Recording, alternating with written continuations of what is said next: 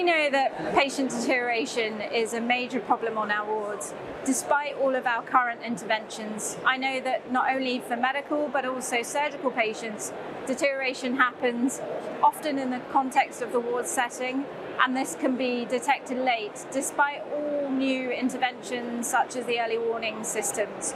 We know that we need to have better systems for monitoring. I feel one of the solutions will be in the way of continuous monitoring through new digital technologies and wearable sensors. My research at Imperial College in the form of my PhD looked into just that. We were looking at um, algorithms of detecting patient deterioration, but also the reliability of devices compared to normal baseline monitoring that's performed by the nurses, and this is often four to six hours apart. This was very welcomed based on our research, not only from nurses and staff groups, but also from patients.